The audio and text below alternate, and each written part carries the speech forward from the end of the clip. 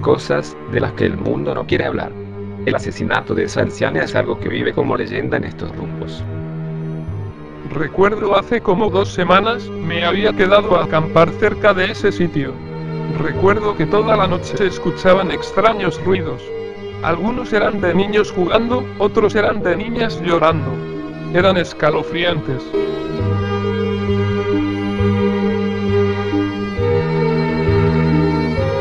No dormí en toda la noche pensando en qué podía pasar. Pensado que aparecería algún espíritu. Te lo juro, no pienso pasar otra noche aquí. Carajo, tienes que estar grabando todas nuestras conversaciones.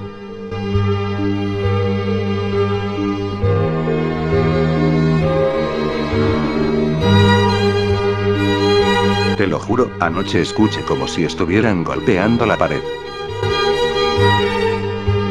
No sé a qué venga esto, pero les digo.